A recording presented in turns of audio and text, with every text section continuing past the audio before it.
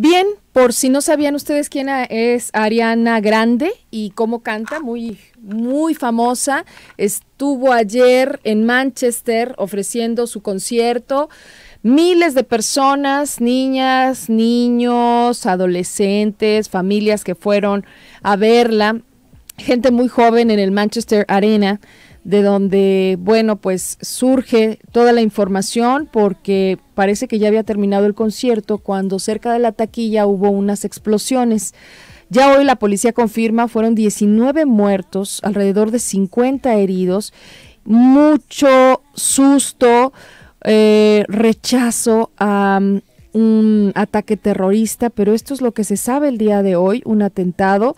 Eh, la información incluso ya está al nivel de que el ataque en Londres obedece a un patrón que ya se ha visto en Niza o en Berlín recientemente, en cualquier lugar y en cualquier momento y personas de la afiliación que sea, de cualquier edad, tenemos riesgo de que esto ocurra. Cuando lo vemos, Quizá en México lo vemos y lo vemos muy lejos. Ellos así de lejos han de ver cuando escuchan tragedias de aquí de nuestro país, pero nos recuerda la humanidad y que somos parte de ella y pues nos, nos conmueve, por supuesto, nos, nos alerta y pensamos, es que pues Ariana Grande también va a estar aquí en, en México. Bueno, canceló por lo pronto su gira, todavía, en, entre que lo que acaba de ocurrir y que no se sabe ella cómo va a reaccionar también, porque bueno, pues estaba sin palabras, ayer así lo dijo en su Twitter.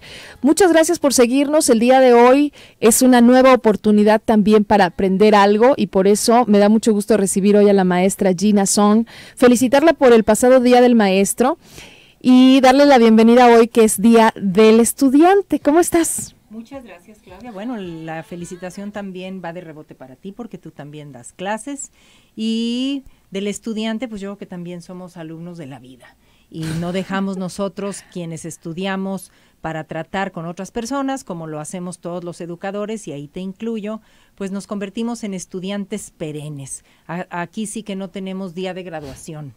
Y eso es muy interesante porque nos plantea una oportunidad de crecimiento, de enriquecimiento y sobre todo en esta ocasión muy puntual en la que tú me extiendes esta gentil invitación para hablar sobre los estudiantes, pues nos acerca quizá a profundizar un poquito más sobre este tema de los alumnos, los eh, niños, las niñas, los jóvenes que están ocupando las aulas o que están enfrente de una computadora virtualmente, qué con ellos, qué pasa con ellos, cuáles son los retos, cuáles son las realidades que enfrentan y por ende cuáles son los retos que nosotros también como docentes y papás y mamás tenemos ante esta realidad. Sí, creo que hoy vamos a hablar de, muchas cosas, simplemente del aprendizaje como tal. Tú lo pones como una eh, ocupación, como una, em, un, digamos que hasta un modo de vida, hasta una vocación. O sea, hay, quienes, este, por vocación son alumnos y se la pasan aprendiendo y se la pasan estudiando y, y hay quienes salieron de su escuela de lo más básico de lo mínimo este para poder saltar a otro lado y no quieren saber absolutamente nada de la escuela. ¿Qué fue? Porque tuvieron una mala experiencia de aprendizaje, porque no tuvieron buenos maestros, porque no salieron buenos para el estudio. O sea, ¿en, ¿en qué reside en el tema de ser alumnos? Pues somos también por los demás. Claro. Y bueno, quizá aquí si nos ponemos muy estrictos, tendríamos que definir qué es un alumno. Mándale. En, en, principio, porque podríamos decir que un alumno es aquel individuo que está inscrito, entre comillas, a un programa, a un plan educativo, a un plan escolar que se ofrece en algún lugar, ya sea universitario, preescolar, incluso eh, preparatoria o el nivel de que se trate, y quizá eso es muy eh, limitativo porque hay personas que te pueden decir, yo enfrente de mi computadora soy alumno de todas las publicaciones que día a día se generan en todas esas revistas científicas sobre finanzas, sobre cualquier tema. Y quizá entonces ser alumno tiene más que ver con tu función como aprendiz. Y esa función yo pienso la tenemos todos independientemente de la edad. Cuando tú dices, bueno, pero ¿por qué algunos quieren seguir yendo a la escuela y unos no? Quizá eso tiene que ver con el estilo que cada uno tenemos para aprender. Hay quienes nos gusta estar enfrente de un catedrático, de un maestro, quien nos presenta un programa, una serie de retos, de objetivos a conquistar, y ese es el estilo que a ti te gusta. Mientras que, en contraste, a otros les gusta más hacerlo de manera más autónoma, más autodidacta y van siguiendo líneas, no por eso menos profundas o menos relevantes, de enriquecimiento personal, cultural, profesional y no tienen que estar inscritos en una institución. Y esto lo vemos cada vez más. Si tú haces un censo entre los profesionistas, entre los jóvenes adultos, algunos ya egresados de las universidades siguen conectados a fuentes de información, a fuentes en las que no hacen otra cosa más que hacer más amplios sus horizontes y profundizar más en aquellas áreas a las que se dedican y no están inscritos, no reciben calificaciones. No tienen un, diploma, título. Y no por eso dejan de ser alumnos, ¿no? Entonces, quizá aquí es más bien lo que tú haces, cuál es tu actitud ante todas esas enseñanzas, más que tu estatus eh, en una lista de asistencia. Bueno, es que nos estás describiendo una, unas formas de educación como la de en línea, que son formas actuales, ¿sí? O sea, poder aspirar a, a, un, a un curso en Cambridge, pues, pues solo que fueras de la familia, este, eh, digamos que, pues no sé, de, de la, del 1%, ¿no? En donde pudieran pagar una colegiatura de esas, viajar al extranjero para que tú entres a estudiar. Pero ahora puedes tomar de esa universidad, de Oxford, de las más prestigiadas, puedes tomar cursos en línea desde tu casa, gratuitos. Gratuitos. En Coursera, por ejemplo, eh, te puedes registrar, hay cursos muy largos, hay cursos muy cortos.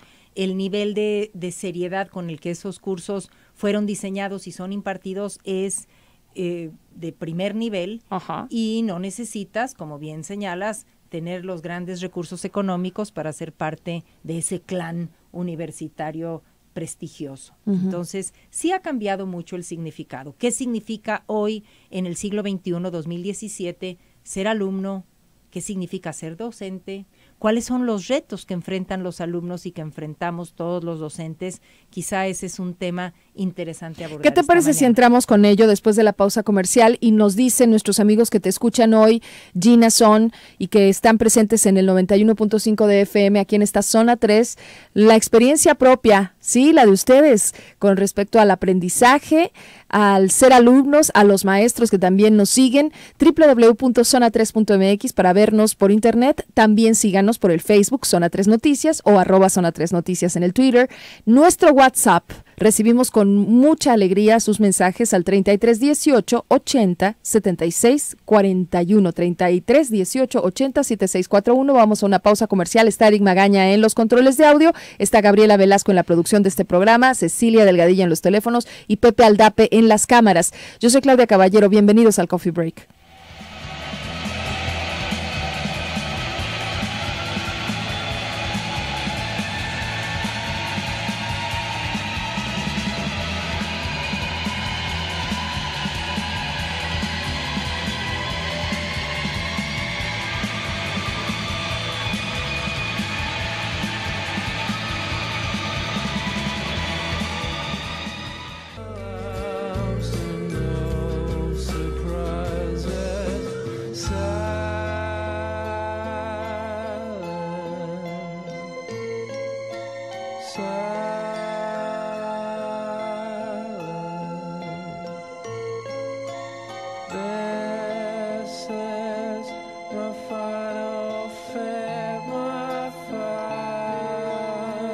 Seguimos en nuestro programa, nuestro Espero que tú también lo estés disfrutando como nosotros. Eres alumno, eres maestro, no le ponemos falta, ya aquí se pronunció en el WhatsApp Jonás. Un saludo a todos aquellos que muchas veces sin palabras solo nos envían algún, algún meme, alguna foto, una imagen, un saludo. Bienvenidos a los que nos escuchan y que quieran participar el día de hoy por el WhatsApp para que nos cuenten qué han estudiado, por ejemplo, en este último año Y digo último porque puede ser a lo largo de estos meses del 2017 o recientemente. Entiendo que a veces no es algo con lo que vayas a salir con una maestría o con un posgrado así tal en la foto y de graduación, sino que lo hayas eh, aprendido porque pues entraste a un nuevo trabajo y te, y te mandaron un curso pero resulta que bueno, pues sirvió para muchas otras cosas, en muchas otras áreas. Hoy podemos entrar a aprender desarrollo humano y no tenemos que eh, este, aspirar a ser este, psicólogos, ¿no? O a, ayudar a otros. Con que me entienda yo ya es una ganancia bastante buena. A ver, vamos con este asunto de querer aprender, porque creo que el, el tema y los retos, no sé, ahorita nos vas a llevar, Gina Son, maestra, está aquí con nosotros. ¿Cuáles son los retos? Que se tienen hoy en este tema de, de ser alumnos y del aprendizaje. Sí, mira, yo quisiera, bueno, ahorita nada más, antes de entrar en esta cuestión de los retos, Claudia, reflexionar un poco sobre eso que tú dijiste, la capacitación que recibimos en cualquier lugar en donde estemos trabajando. Eh, si lo vemos más que como capacitación, como un desarrollo profesional, se verá entonces menos impuesto porque muchas veces porque vas a cambiar de nivel en el escalafón, porque vas a tener nuevas oportunidades, etcétera, etcétera, eh, queremos reunir una serie de cursos o una serie de horas de curso sin que realmente o sin que necesariamente estas horas acumuladas de cursos se traduzcan en una modificación en tu actitud, en tu comportamiento y en la manera como estructuras o piensas todo lo que estás viviendo. Quizá ese es el mejor indicativo de que cualquier curso ha funcionado en un alumno cuando nosotros de maestros nos percatamos que ha habido un cambio integral en la persona, mismo cambio que existe en uno como docente cuando estás enfrente de un grupo o cuando estás eh, con tareas en línea. En otras palabras, el desarrollo ocurre tanto en el llamado alumno como en el llamado docente. Y si nos limitamos nada más a hablar de este proceso de ser estudiante y limitamos nuestra visión a los alumnos y a los maestros y dejamos por un momento fuera a los papás, nos ponemos a analizar cuáles son los retos. Realmente un maestro en cualquier nivel, Claudia, desde preescolar hasta universidad o posgrado, tú llegas a una institución en donde eres contratado como maestro y la primera pregunta válida que te haces es, ¿qué debo de enseñar? No qué me dicen los programas, pero qué es lo que realmente va a trascender en este joven, en este niño, en esta persona que está enfrente de mí. Y realmente te cuestionas si aprendizaje memorístico es lo que tienes que hacer, o ir más allá y enseñar a las personas, acompañarlos en el proceso de aprender a pensar, aprender a reflexionar, aprender a obtener un sentido de lo que estás haciendo. Esa es una de las funciones más privilegiadas que tenemos los maestros, acompañar a nuestros estudiantes en este reto de aprender a, reflexionar y a tomar decisiones. Los muchachos, obviamente en preparatoria, en universidad, tienen que tomar decisiones y frecuentemente cuando estamos en secundaria, en primaria o en preescolar, tenemos un estilo tan directivo, que no permitimos que los muchachos tomen decisiones. ¿Cómo esperamos, por arte de magia, que llegando a la preparatoria o a la universidad, estos jóvenes sean personas asertivas, pensantes, que toman decisiones, que saben evaluar qué les conviene y qué no les conviene? Sí, que toman la iniciativa para empezar. Entonces, esto nos lleva a pensar que el perfil de alumnos que nosotros como maestros debemos quizá complementar a formar, y digo complementar porque dejando afuera a este otro gran grupo que son los papás, bueno, nosotros como docentes complementamos nada más un ratito en el año escolar lo que esos padres de familia han decidido como proyecto de vida para sus hijos. Si nosotros dejamos ahorita fuera a los papás y nos cuestionamos como maestros, ¿qué es lo que realmente debo enseñar? Quizá la respuesta es, necesitamos enseñar a nuestros alumnos a convivir, a expresarse, a saber dónde buscar, a saber qué de eso que buscan tienen que desechar y en qué pueden profundizar. Y para hacerlo, necesariamente van a requerir saber escuchar, saber leer, saber escribir, saberse comunicar. Esto quiere decir que la función del maestro está totalmente alineada con la función del alumno. Nosotros como maestros necesitamos estar en constante desarrollo igual que el alumno. Nosotros como maestros requerimos enfrentar ese reto de cómo comunicarnos con ellos, cómo enseñarlos a ser eficientes y efectivos cuando una idea la tienen en la cabeza y la quieren externar. Entonces ya no es una serie de contenidos temáticos, una serie de unidades, porque entonces como alumnos tú te puedes limitar a memorizarte o a resolver cierto tipo de fórmulas y eso no te va a servir necesariamente en la vida. Por eso el reto muy importante de nosotros como maestros es enseñar a los jóvenes a convivir, a conversar, a comunicarse, a saber elegir. Y esto tiene implicaciones, por supuesto, de fondo, Claudia, en qué es el ser maestro. No puedo divorciar los dos temas del día del estudiante del día del maestro. Son em, figuras que coexisten y que conviven y que requerimos nosotros como cultura dar un lugar muy importante a todo aquello que están nuestros alumnos pensando y necesitando. Cuando tú y yo fuimos a la escuela, aunque tú eres mucho más joven que yo, no teníamos a todos estos dispositivos a la mano que han transformado la educación.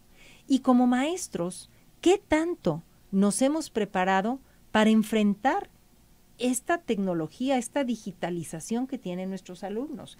Escucho con frecuencia a mis colegas universitarios eh, que tienen alumnos eh, ya más grandes, jóvenes adultos, que dicen, mira, yo resuelvo muy fácil el problema de la tecnología. Tengo una caja que depositen allí los celulares y punto que se acabó. Es una opción, es una opción en donde estás dictaminando qué hacer y a lo mejor con eso fluye más tu clase. Pero ¿qué tanto estamos entendiendo la manera como estos jóvenes que nacieron ya, no migraron, nacieron ya con esta tecnología, cómo es que se les ha desarrollado el cerebro? ¿Cómo han estado aprendiendo ellos desde que están en preescolar? ¿Qué significa para ellos ser alumnos? Y te ven como un dinosaurio antidiluviano porque a veces no entendemos la manera como ellos aprenden y al no entender la manera como ellos aprenden, quizá no estamos acertando en cómo acompañarlos en ese aprendizaje. Y soy cuidadosa en la selección de mis palabras, porque no se trata de que el maestro le enseñe al muchacho todo lo que tiene que hacer. Estás facilitando, estás acompañando, estás mediando y quizá entonces un reto, además de enseñar a convivir, además de enseñar a conversar, es acercarnos nosotros como docentes a esta realidad en la que estos jóvenes que están en las aulas están creciendo, que están viviendo día con día, y en lugar de pelearnos con todos los dispositivos, tener una manera de incorporarlos en lo que estamos haciendo. La influencia no nada más de los aparatejos, sino de todas las redes sociales es, tú como comunicóloga me das clases de eso, es contundente en la manera como pensamos, en la inmediatez como nos comunicamos. Y rara vez vemos en los programas, por ejemplo, de primaria, una incorporación de esta realidad. De tal suerte que los niños asisten de las siete y media de la mañana a las dos y media de la tarde a la escuela con una realidad que es totalmente diferente de la que van a vivir de las dos y media en adelante. Entonces, ¿qué tanto estamos realmente preparando a estos estudiantes, y hoy en su día resaltándolos tanto, para enfrentar, para decidir, para realmente formar parte activa y sobre todo parte productiva en un entorno para el que no les estamos dando nosotros muchas herramientas. Pues nos dejas mucha tarea. Creo que interesante siempre es escucharte, Gina. Ah, ya estás recibiendo algunas llamadas, mensajes, saludos. Ahorita los vamos a leer con mucho gusto y bienvenidos todos aquellos que a raíz de estos temas pues empiezan a también no solo a recordarse cuando fueron alumnos de primaria, de secundaria, cuando estuvimos en la prepa. Yo siempre me pregunto, ¿cómo fue que pude pasar prepa? Todavía no sé cómo es que pude graduarme de preparatoria. Pues, me acuerdo de los alumnos y me acuerdo de algunas materias, pero de lo que me acuerdo era de la vida social de la preparatoria. El día de hoy estamos tratando de, de, de alguna manera poner esto aquí en el programa, en la mesa, para que tú te lo lleves a tu casa con tus amigos, con tus hijos, porque a los hijos muchas veces ni siquiera nos acercamos desde este punto de vista de están aprendiendo, son alumnos. Bueno, son mis hijos y aquí en casa se hacen las cosas así. Y si acaso les preguntamos, ¿tienes, ¿tienes tarea? A ver cuándo la tienes que entregar o a ver, enséñame las calificaciones. Pero estamos desligados completamente de la experiencia de aprender. O sea, ¿cómo estás aprendiendo? ¿Te parece mejor cuando escriben en el pizarrón o cuando te mandan a hacer eh, una búsqueda en, en, el Google? ¿Cómo aprendes mejor? Y cómo yo también participo en ese aprendizaje formal, si tú quieres, de la escuela que está llevando a cabo mi hija o mi hijo? ¿Cómo participo yo como mamá en decir, a ver, yo también sé en lo que estás, sé cuál es el tema de este semestre y entonces por eso, mira, vente, vámonos al museo. Yo vi el otro día, escuché, eh, complementar de otra forma todo ese aprendizaje. ¿Cómo lo hacen ustedes con, con ustedes mismos como adultos y con sus hijos? ¿Nos acompañan con estos comentarios? 33 18 80 76 41 o vía telefónica. Tenemos dos líneas en cabina y además una voz amable que te contesta, que está contigo y es Cecilia Delgadillo. El teléfono en el 31 22 4200 o bien en el 31 22 42 66. Después de esta pausa regresamos. La siguiente es información comercial y su contenido es responsabilidad del anunciante. Seguimos en mayo y porque no solo un día habría que demostrarle el amor a mamá, en nuestro querido Coffee Break celebramos todo el mes y uno de nuestros patrocinadores, Joyerías Bizarro, nos tiene increíbles obsequios para todos ustedes radioescuchas. Así que, bueno, hazla vivir a tu mami un momento inolvidable, todavía es tiempo y comunícate a cabina Joyerías Bizarro va a tener una sorpresa próximamente para nosotros en este mes de mayo que aún no termina. La siguiente es información comercial y su contenido es responsabilidad del anunciante.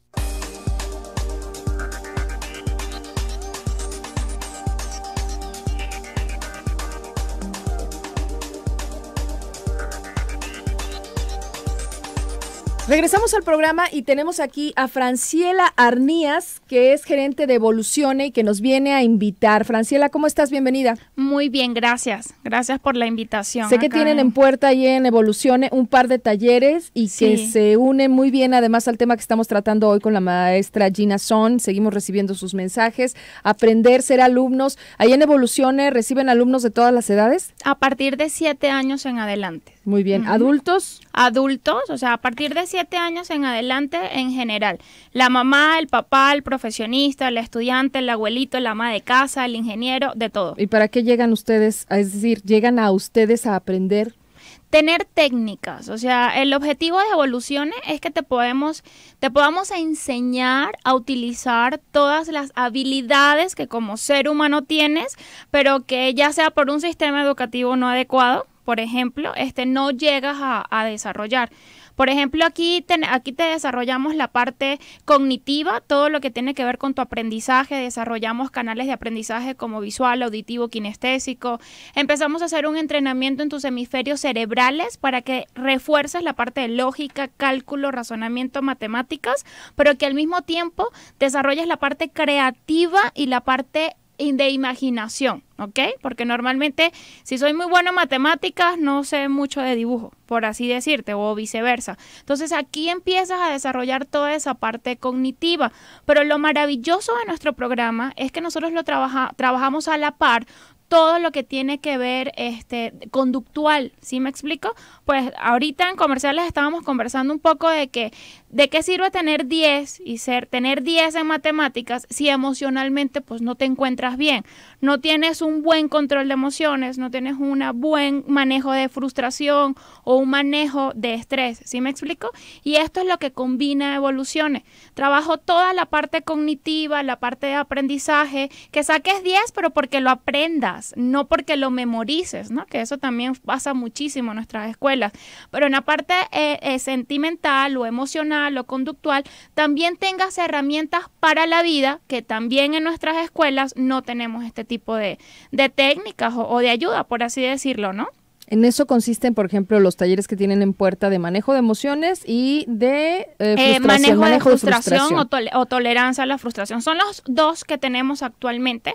En sí tenemos muchísimos talleres. Hemos tenido ya eh, talleres de seguridad y confianza, hemos tenido talleres de habilidades cognitivas, de matemáticas, de memoria, de retención. Me acuerdo que tuvieron una vez unos de papiroflexia. Exactamente, también tuvimos unos. que yo decía, es así como para desestresarse de que pues nomás no das una o más bien eso te va a poner en otro este nivel como para que comprendas eh, otras eh, de hecho, papiroflexia es como que la combinación de que puedas tener allí tanto la lógica como la creatividad. O sea, está el pensamiento matemático porque estás este con la clase de geometría, pero por otro lado también siendo creativo y, utilizando tu imaginación, manejando la frustración de que no te queda como el del maestro, ¿no? Exactamente. Entonces, de eso se trata. También trabajamos la parte de la concentración.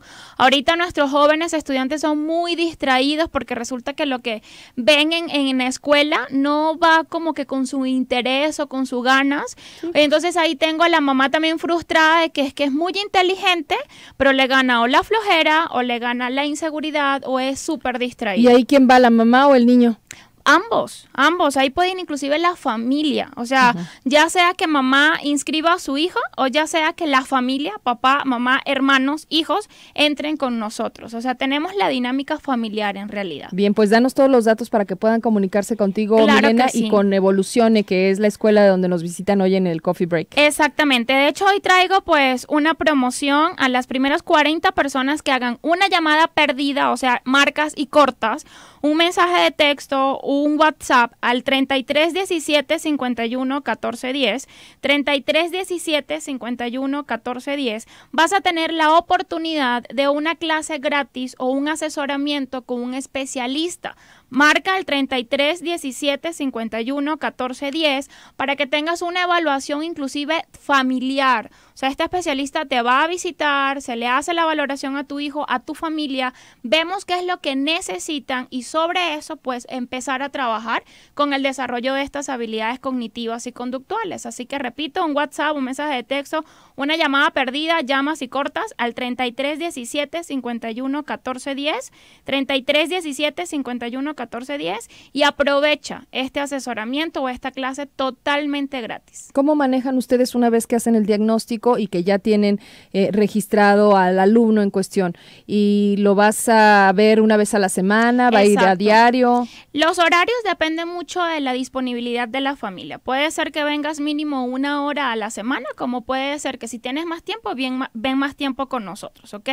Es este, eh, el objetivo es en esa hora poder trabajar esos aspectos que en esa previa evaluación pudimos notar, ¿ok? Ya sea la distracción, ya sea la dificultad de matemáticas, ya sea la falta de seguridad o la falta de confianza. Perfecto. Entonces son secciones que se hacen. Bueno, repítenos el teléfono porque así nos vamos a despedir de Evolucione, Milena Sandoval, eh, Franciela, Franciela, Arnías, y un saludo a Milena que ya estaba aquí con nosotros. Muchas gracias. 33 17 51 14 10, 33 17 51 14 10, llamada perdida, WhatsApp, mensaje de texto. Bien, muchas gracias, Franciela.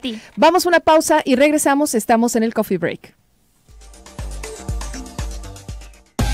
Palabras que generan contenido. Zona 3, 91.5. Busca nuestra programación en YouTube como Zona 3 Noticias.